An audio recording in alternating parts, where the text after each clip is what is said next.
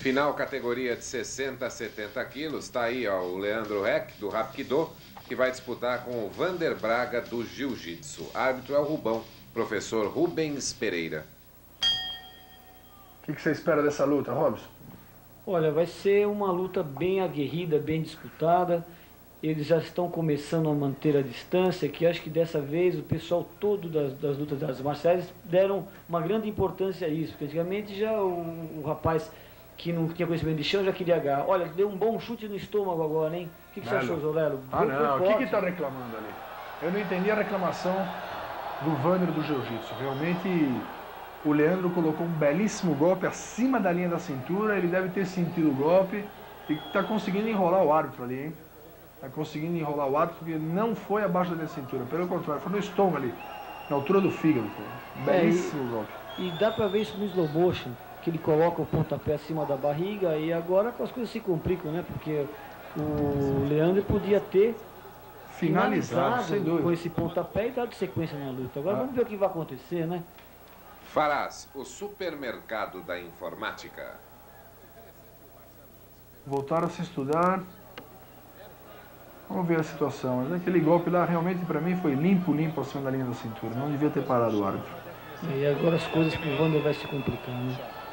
Vamos ver se o Leandro consegue encaixar um bom golpe, um bom chute, um bom soco.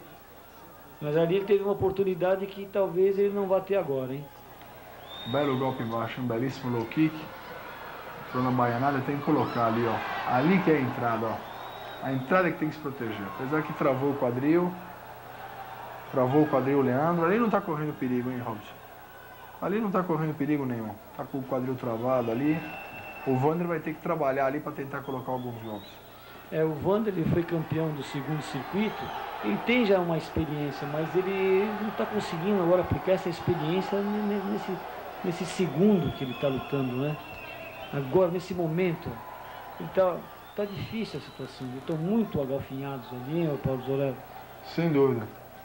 Esporte é vida, esporte é saúde. Drible sempre ao lado do esporte nacional. É, eles foram numa posição ali, numa chave passiva, ninguém consegue fazer nada. Agora montou, hein? Conseguiu montar, montar o Vander para colocar os golpes e já foi para já foi novamente para defesa. O Leandro está me parecendo um competidor com bastante frieza, né? Um competidor calculista. Eu não percebi nele ainda um desequilíbrio um- ou um lado emocional mais acentuado. né?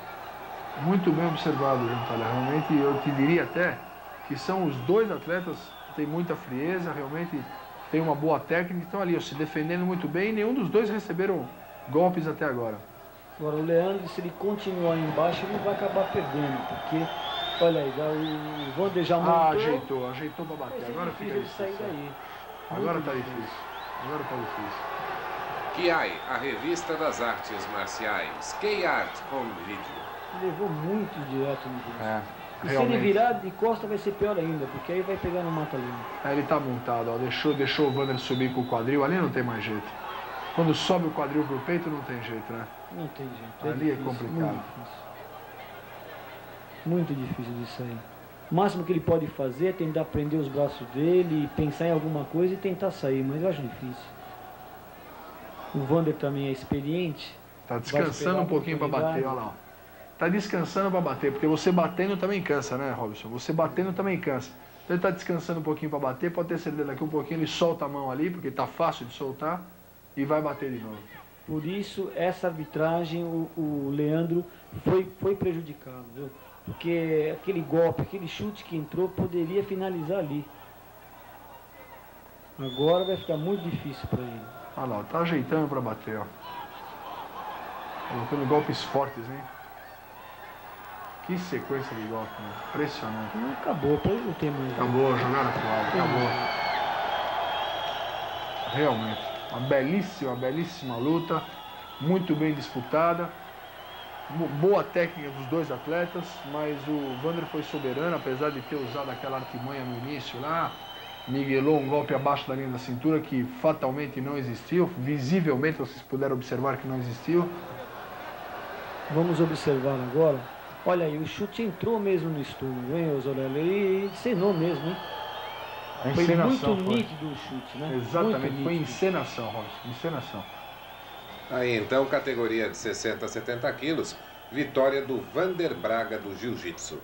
Agora, eu queria observar, na hora que ele está batendo, se o árbitro interviu antes de jogar a toalha, porque me parece que o árbitro deve ser mais enérgico, né, Zorello? Arrancar realmente o lutador. Exatamente, ele está batendo ali e o árbitro não para. Está faltando esse tipo de energia nos árbitros.